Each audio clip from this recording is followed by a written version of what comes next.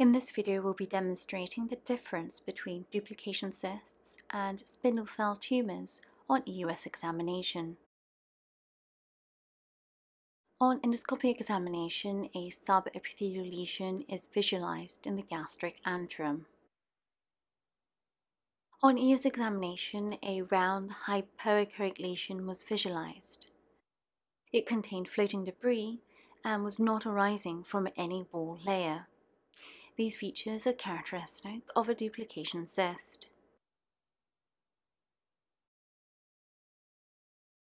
Spindle cell tumours can also appear as subepithelial lesions on endoscopic view. However, unlike duplication cysts, they arise from the muscularis propria and do not contain any solid debris. The two lesions can now be seen side by side, duplication cyst on the left and spindle cell tumour on the right.